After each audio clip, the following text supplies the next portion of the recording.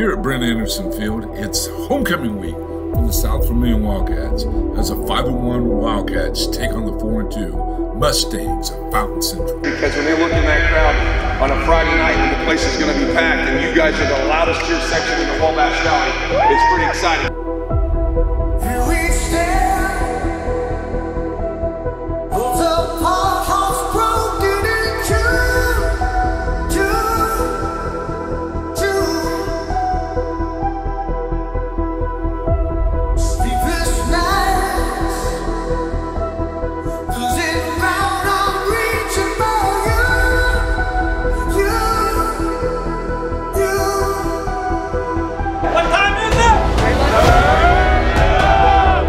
To battle as long as you let to be a battle.